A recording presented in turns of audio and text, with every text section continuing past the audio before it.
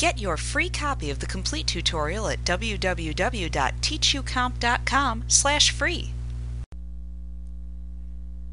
If you want to use a single form to display information from two or more related tables in your database, using subforms is the way to accomplish that goal.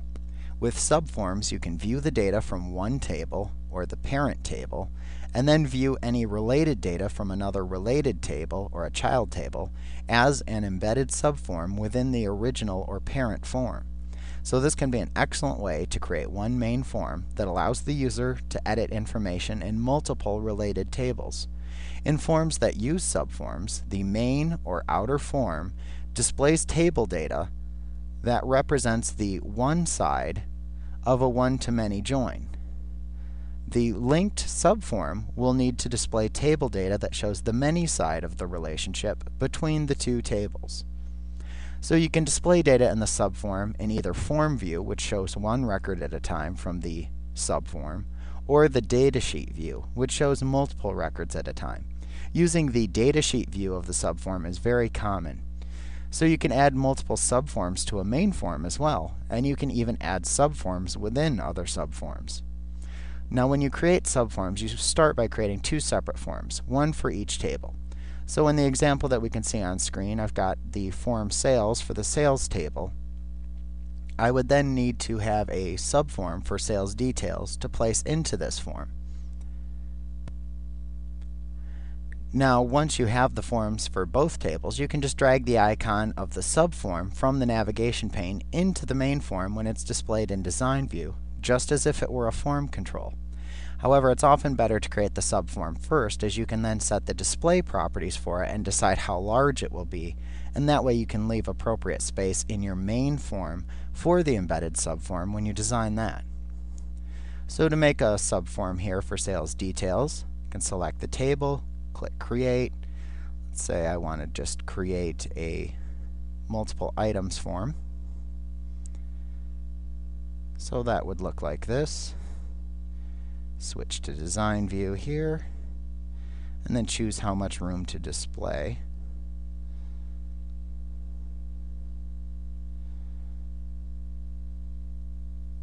Now once that's set, you could just save it.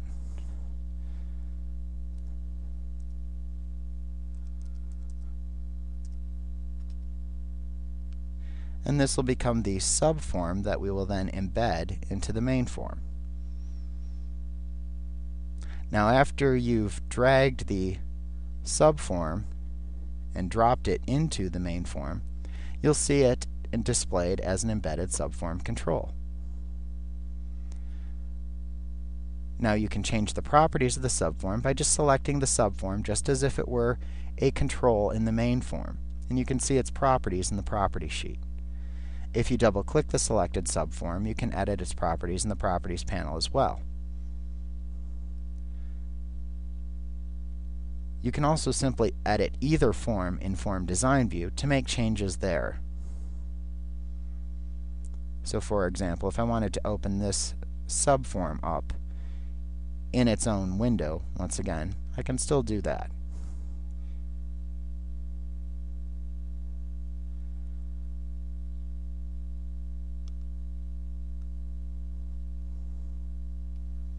And changes that are made in one view will affect the other.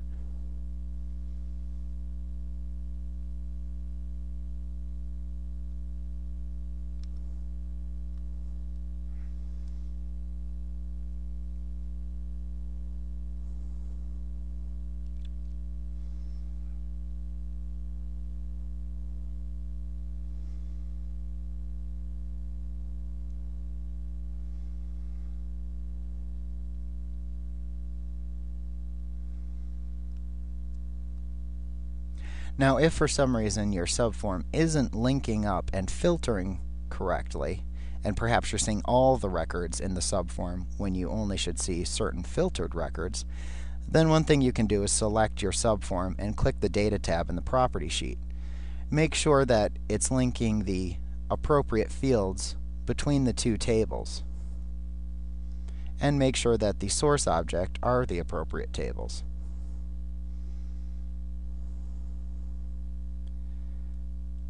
So for this form, you can see this is set to the record source on the Data tab of Sales. And for the subform, it's Sales Details. So you'd want to make sure that you're using the appropriate tables and that they're joined together appropriately.